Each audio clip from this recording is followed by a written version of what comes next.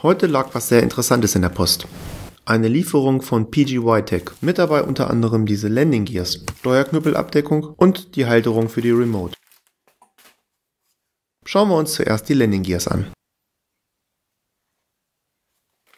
Die Verpackung mal mit Gewalt geöffnet. Einen kurzen Blick in die Anleitung sollte man mal werfen. Ansonsten in der Verpackung natürlich die Füße selber.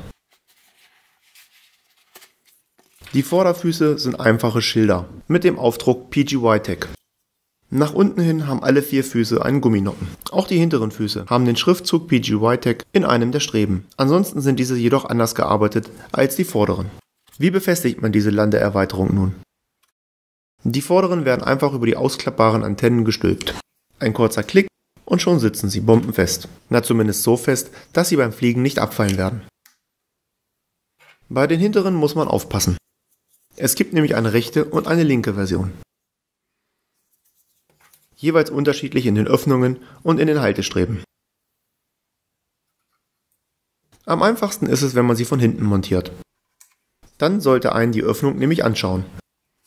Am Fuß ein bisschen eingesetzt und dann über die Strebe gedrückt. Hier nochmal kurz genauer dargestellt. Hinten drüber und Klicks um die Strebe. Zwar sieht die Mavic Air jetzt ein bisschen komisch aus, jedoch ist der Abstand zum Boden nun deutlich mehr.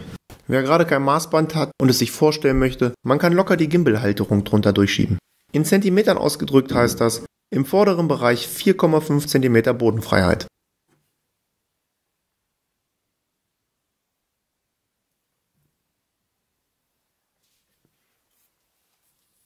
Auch hier von der Seite nochmal dargestellt. 4,5 vorne und im hinteren Teil 4 cm. Da kann ordentlich Gras gewachsen sein. Im Vergleich ohne die Füße bekommt man im hinteren Teil ja nicht mal den Zollstock oder das Gliedermaß zwischengehalten.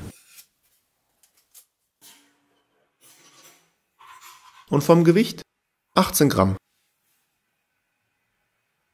Das scheint so wenig zu sein, dass die Mavic es gar nicht merkt. Anders als bei den Guards, wo eingeblendet wird, dass ein Zusatzgewicht an Bord ist und deswegen die Akkuleistung eingeschränkt ist, kommt diese Meldung hier nicht hoch. Auch habe ich bei meinen Tests keine geänderten Flugeigenschaften feststellen können. Selbst hier kritisch über der Tischplatte bewegt die Mavic sich astrein.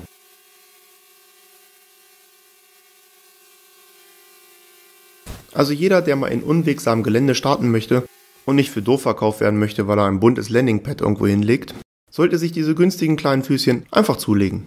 Mit 14 Euro fallen diese auch nicht wirklich ins Budget. Alle Links gibt's bei mir in der Videobeschreibung.